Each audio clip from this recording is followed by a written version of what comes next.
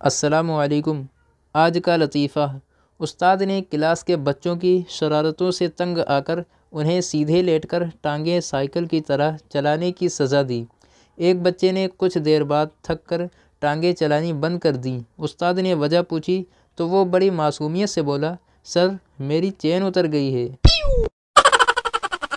इसी तरह की मज़ेदार वीडियोस देखने के लिए हमारे चैनल को सब्सक्राइब करें। जजाकल्ला